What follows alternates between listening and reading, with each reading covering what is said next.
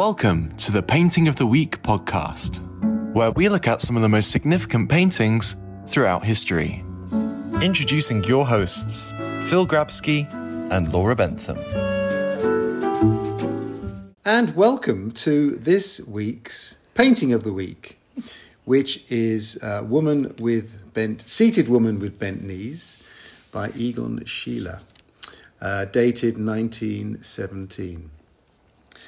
Uh, apologies for those of you who are loyal fans and have been waiting for uh, a podcast. It's been unbelievably busy um, with a film release of our Vermeer The Greatest exhibition, which basically just went nuts. What can I say? Went stratospheric, which is lovely. which is great. You've been more busy than I have, Phil.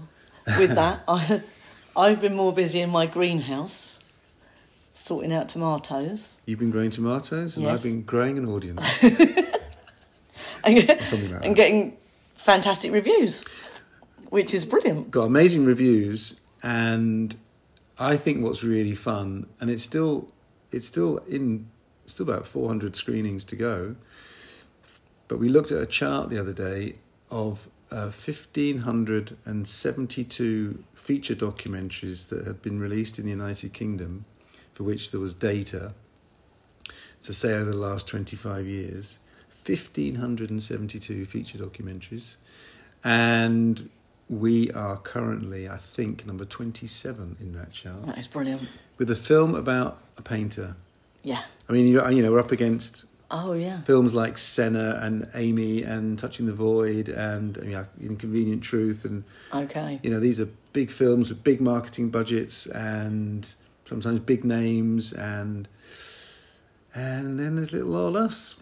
It's fantastic. By far the most successful documentary about an artist ever released.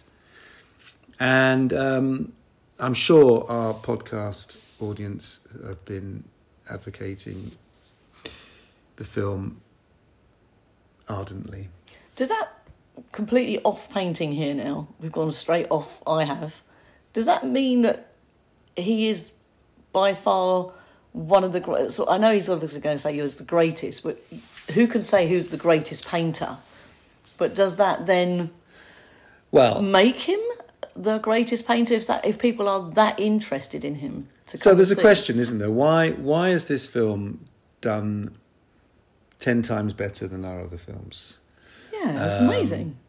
And you know, we've been analysing that, and and of course, a large part of it is the exhibition in Amsterdam at the Rijksmuseum, where they had 28 of his 37 surviving paintings, Right.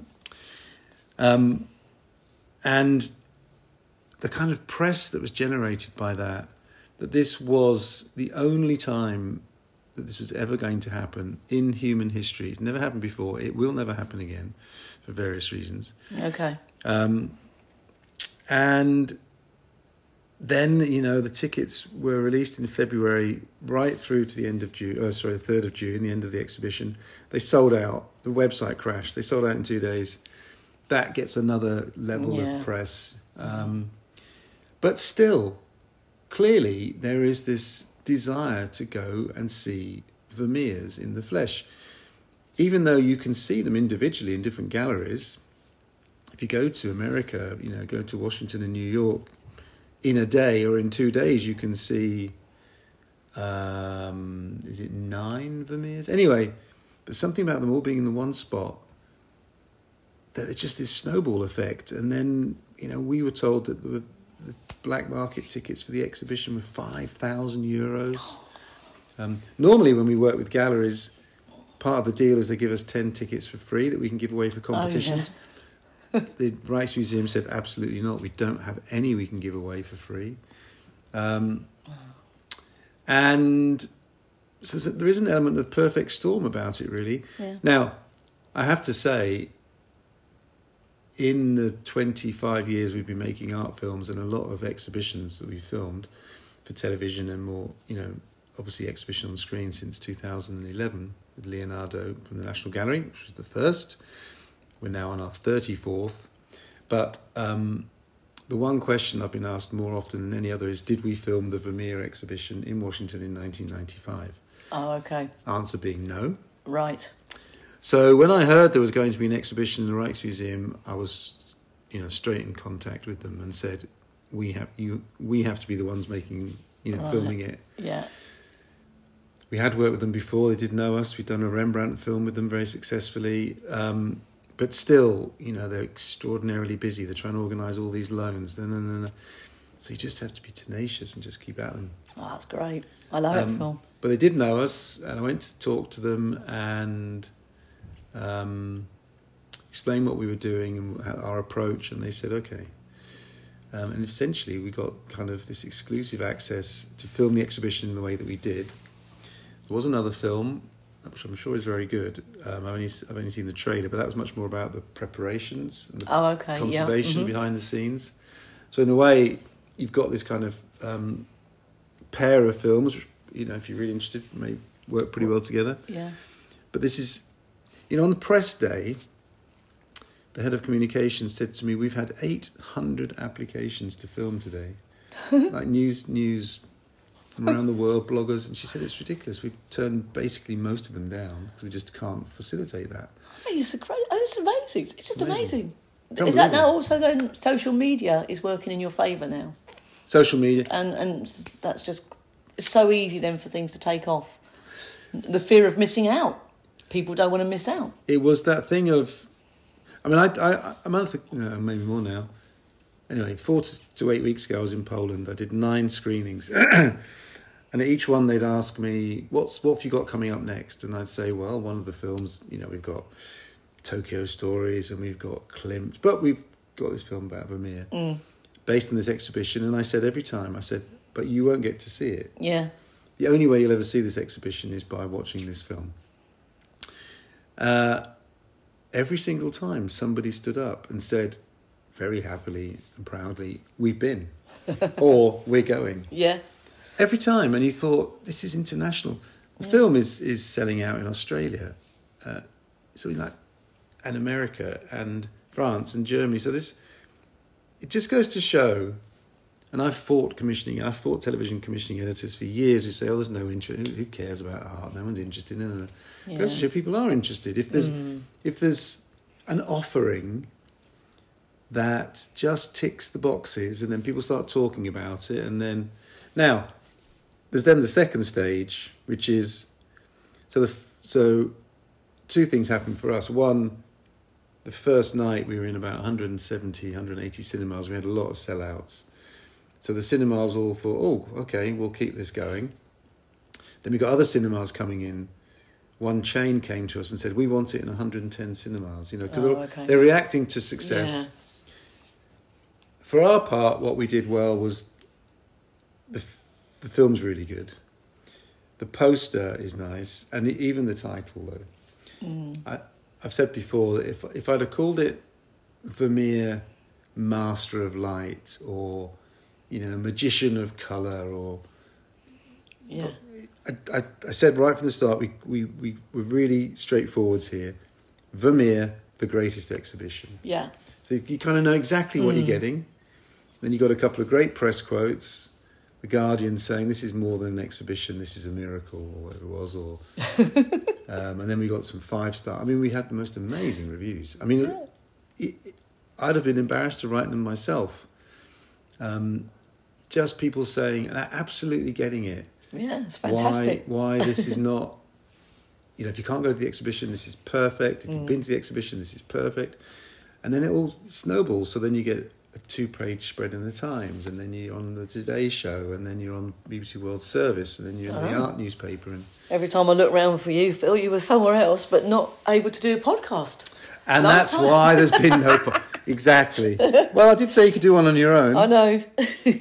Um, I'll be But- too afraid of the the listeners. But you know, our, our, our, we we you know we are constantly in production. I'm having six conversations a day about six different projects, and great. so already you know yesterday we launched Tokyo Stories, which you know clearly won't do as well as Vermeer, but it's a really nice film, very energetic.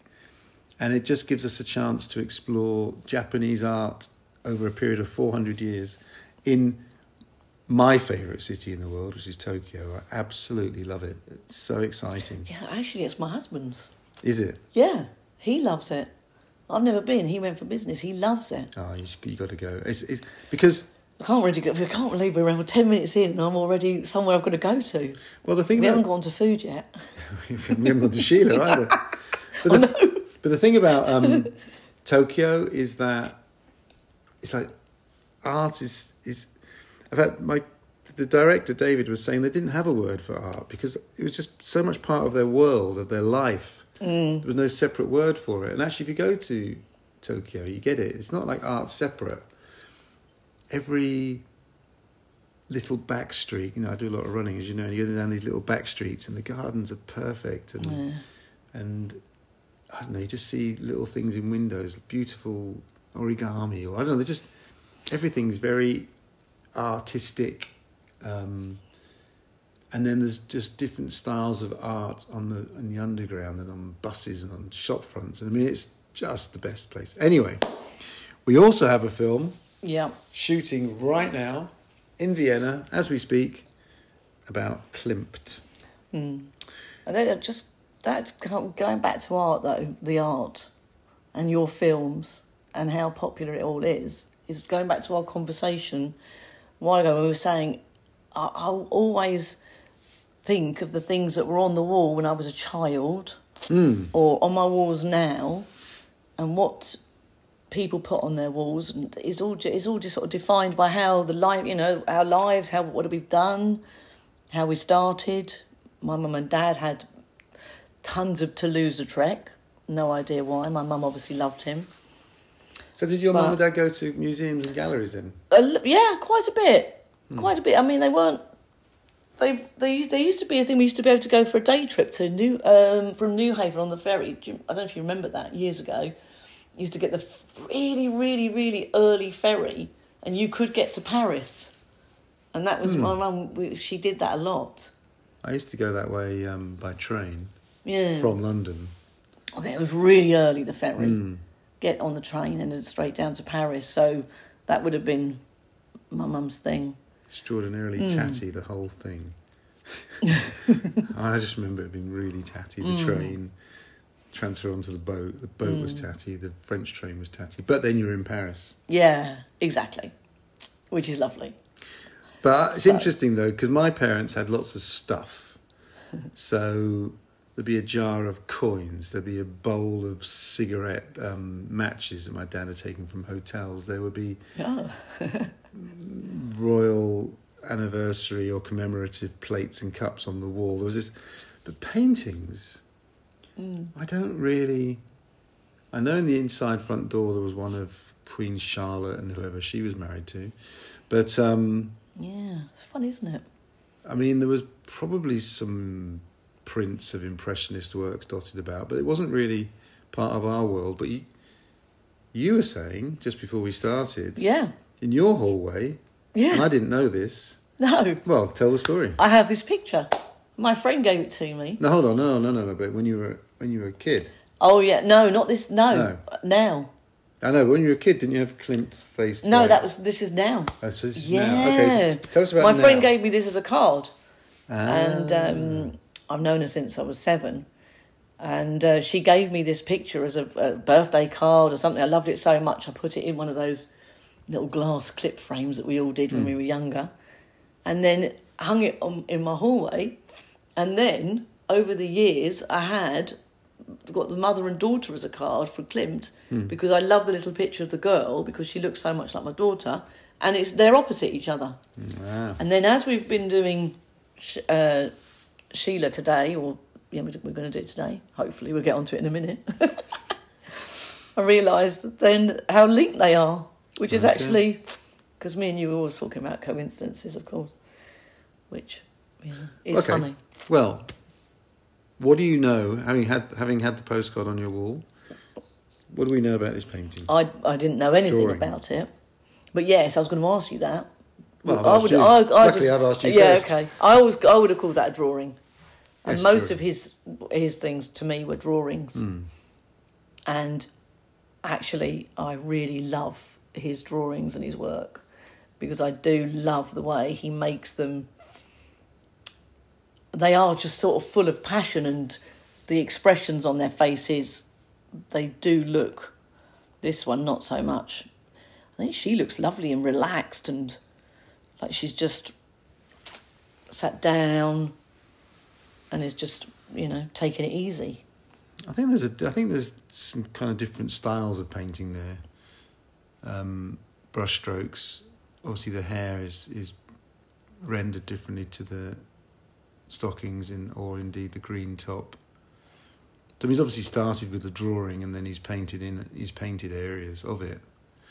Um, but what, but what do, what do we know? So this is his wife. We believe yes. this is his yes. wife. Yes. Yes. So Schiele is born in 1890 Mm-hmm. and dies unfortunately in Mm. 1918. So when you hear that awful figure of over a million people dying at the end of the First World War Yeah.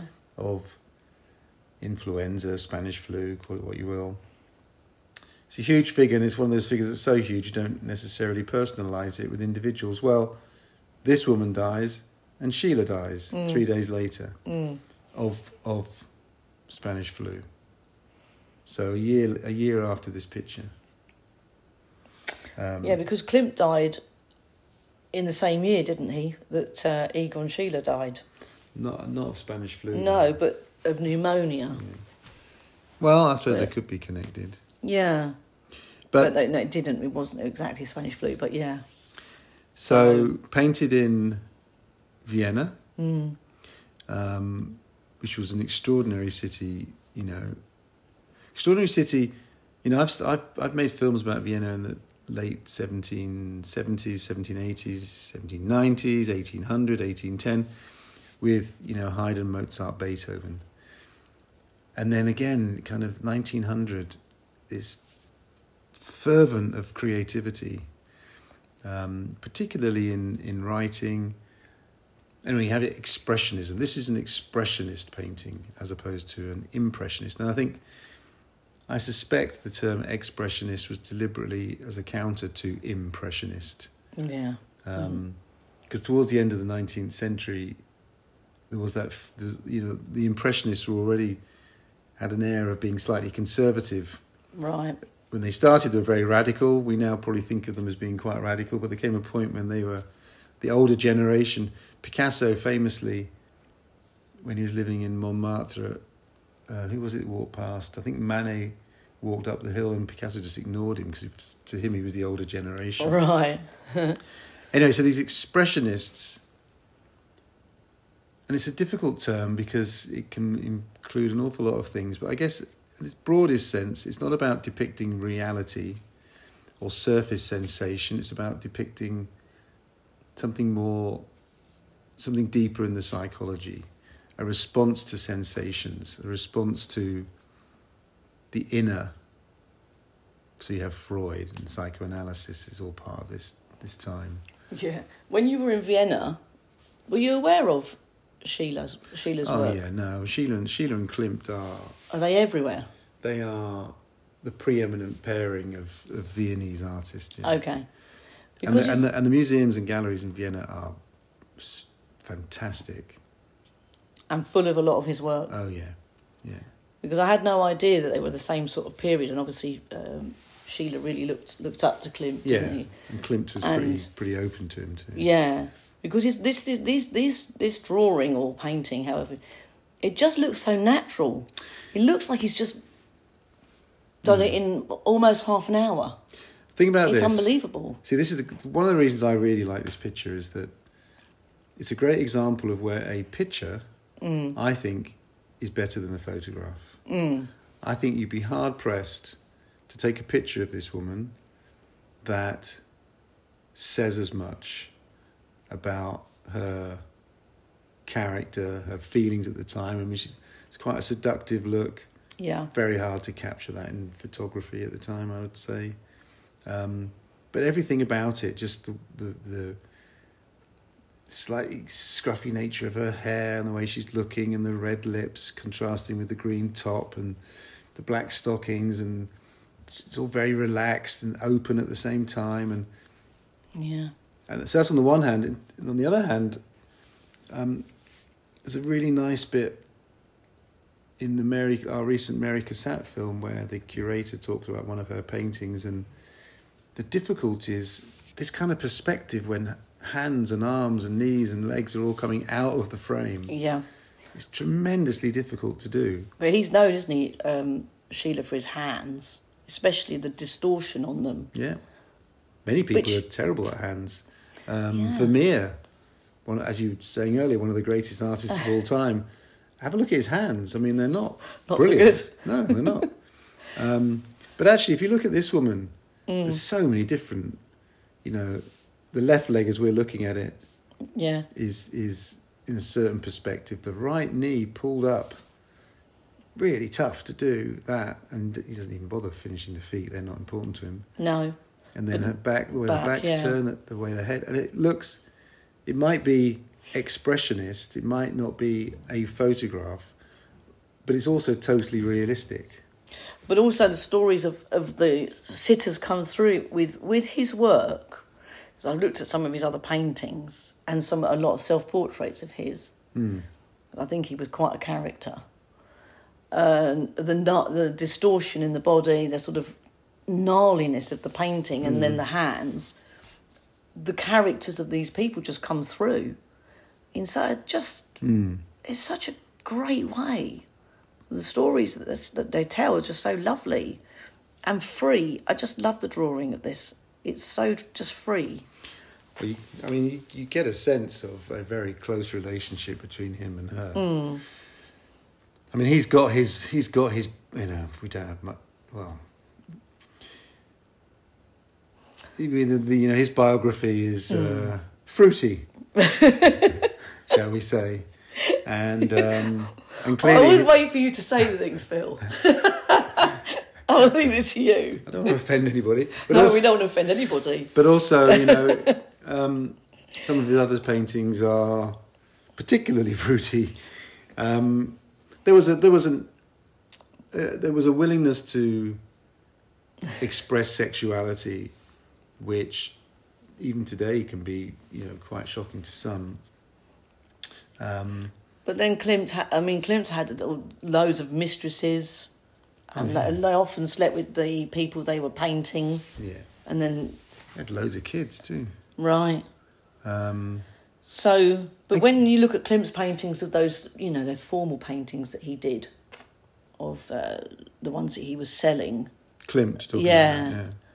I mean, I don't think those ladies who wanted to be painted would have been quite so pleased with Schiele's particular, you know, depiction of them if he'd done them their uh, their hands a bit. I think also one has to bear in mind that this. I mean, I don't know the full biography of Klimt, but No, um, often these are really quite poor women, mm, and the artist is frankly taking advantage of them. I mean, for them to earn a few sous or you know just a little bit of money from being painted was a bit, quite a big deal. right, yeah, And then, so if the painter then asks for more, it probably would have been quite hard for these women to say no. Um, you know, I you, you do wonder how often, and maybe even even still, you know, you, you hear similar stories right now from the fashion industry, and you know, it's not it's not no, something that doesn't doesn't continue to happen really, where young young people are taken advantage of mm, wrongly. mm, This, of course, is different. This is his wife, yeah, and this this to me speaks of a really quite close and intimate relationship that they had. yeah, actually, yeah. I think they. were- Well, I felt really sad today when I looked at the how he died, and Mm. because she was six months pregnant. Oh, was she? And she died. Yeah, when she died. Ah. and then he died three days later. Um, and then one of his final paintings is called The Family, Ah, and I looked at it, and it is really, really, it's a lovely painting. And then you just thought, oh, it's, it's quite, yeah, it's really, Mm. really hard, tough. So, I mean, I guess one of the lessons of this is it's, you know, it's quite easy to see a Schiele or a Klimt Mm. And just see one and think, oh, I don't like that style, Yeah, and then ignore them. mm. what you actually have to do with someone like Schiele is right. You might there might be a painting you come across you're not really very fond of, but you know these painters are these painters are varied, and it's worth looking at. And it's not that hard to do with with with the internet. It's worth looking at a broader range of what they've done, and Yeah. you don't have to like everything a painter does to just- to yeah. appreciate certain works. I mean, I'd ha- I'd have this on my wall. My wall's running out of space because most podcasts I'd have it on. I definitely, well, I, I definitely have. you already do. I already have it on my wall. But it's the power of the drawing to me that he's done. And and and, and the ones that he's there's some of the others that, um, especially his self portraits I really really like. Um, they just look Because he had quite a tough um, background, didn't he? yeah. He's Lived on a rail. His um, his father was a railway man, so I think they lived either near or on a actually on a one of those you know station in a railway station, probably a small railway station. mm, And he used to sketch all the time to the extent that his dad destroyed his sketchbooks, which is a horrible thing to do. I mean, that would have ah, that would have really affected a young young person. yeah. I wonder if he's got those painted those drawings of his early uh, sketchbook of the trains. Well, I'm saying his dad destroyed them. Did he destroy them all? Well, Ah. whether whether the, I mean I don't know if any survived. Right. Um, Because that would have been so unusual to have a, you know, a train drawing and then then his dad dies of syphilis, syphilis. Yeah. And you know that's that's not a pleasant way to die, and probably brought a degree of shame Mm. um, on the family. And they say it haunted him. I did it. Okay. Then he goes off to his uncle, I think, Yeah. who was another railway man, but um, kind of begrudgingly let him study art, which is which is a common refrain. You know, artists who are begrudgingly allowed by their parents to study it because no one thinks it's a proper job. Um, It's funny, isn't it, that? and then obviously, Yeah. some of this is natural skill, and some of it is acquired skill th- through sheer hard work.